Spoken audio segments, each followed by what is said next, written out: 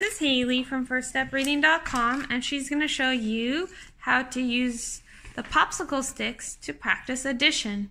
Haley, can you do 2 plus 1?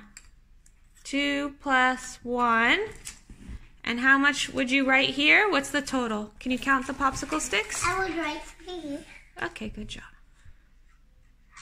Okay, now can you show me 3 plus 2?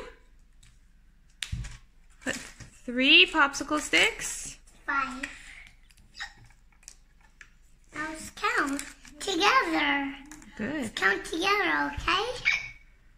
One, two, three, four, five. So, I was right again.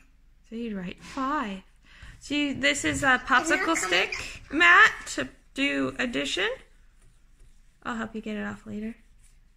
And um, you can use popsicle sticks, you can use paper clips. Five is a hat, down, and a loop. But the other way. Like, if I like this. Yep, that's a five. Good five.